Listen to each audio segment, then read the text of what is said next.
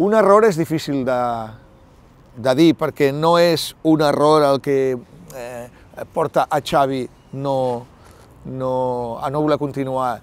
Jo crec que el principal problema de Xavi és que ell, qualificant-se de corifista i veient el futbol amb la mirada corifista, amb els ulls del Johan, no ha aconseguit eh, traslladar això als seus jugadors.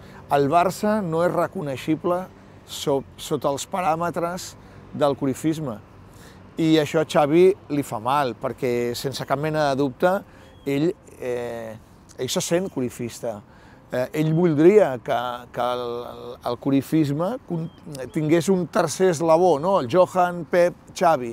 I en canvi mm, la història de moment dirà que no, perquè no ho ha aconseguit. No? Una de les coses bàsiques que ha de tenir un entrenador és una persona, al món, però un entrenador, és la humilitat Eh, el Pep va a veure el Johan i no li feia cap mal la panxa.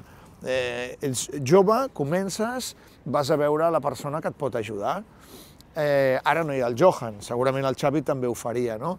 I és veritat que és diferent perquè el Pep és un entrenador d'un equip que, que en teoria competeix contra tu.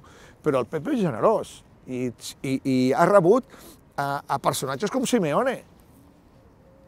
Doncs si, si, si Simeone va anar allà és incomprensible que el Xavi en una situació d'emergència de, no hi vagi, perquè e, és el més normal, és a dir, és que no estranyaria a ningú, tant de bo que no, tant de bo que hi hagi un moment que això es pugui fer net, no?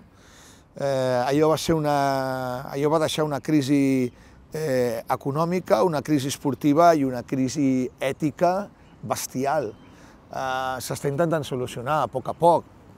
Mm, clar que no ha de ser fàcil entrar en un sotrac. És que és tan bèstia com que fa quatre dies el Barça tenia 222 milions d'euros al banc de Neymar.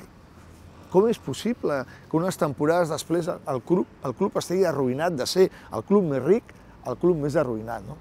Ha fet unes bestieses bestial precisament en l'àrea esportiva.